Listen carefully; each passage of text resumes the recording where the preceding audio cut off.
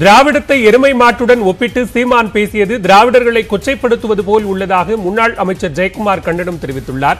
சென்னை போயஸ் கார்டனில் செய்தியாளர்களை சந்தித்த அவர் நீட் விவகாரத்தில் ஆளுநர் மீது பழி போடுவதற்காக மட்டுமே முதலமைச்சர் அனைத்துக் கட்சி கூட்டத்தை கூட்டுவதாக சாடினார். ஆளுநர் மேல பழிய போடணும். இந்த மாதிரி தான் இன்றைக்கி வந்து இன்றைக்கி வந்து தான் வந்து சொன்ன வாக்குறுதியை நிறைவேற்ற முடியாத ஒரு நிலையில் மற்றவர்கள் மீது பழிய போட்டு தப்பிக்கின்ற ஒரு யுக்தி தான் இந்த அனைத்து கட்சி கூட்டம். எனவே அவரை பொறுத்தவரையில் வந்து அரசியல் ரீதியாக கருத்துக்கள் சொல்லலாம். ஆனால் ஒரு எருமை மாடோடு ஒப்பிட்டு பேசுவது என்பது உண்மையிலேயே திராவிடர்கள் அத்தனை பேருமே வந்து ஒரு கொச்சைப்படுத்துகின்ற ஒரு இழிவுபடுத்துகின்ற விஷயமாகத்தான் இதில் வந்து நாம் பார்க்க முடியும். எனவே அவருக்கு எங்களுடைய கண்டனத்தை நாங்கள் இந்த நேரத்தில் தெரிவித்துக் கொள்கின்றோம்.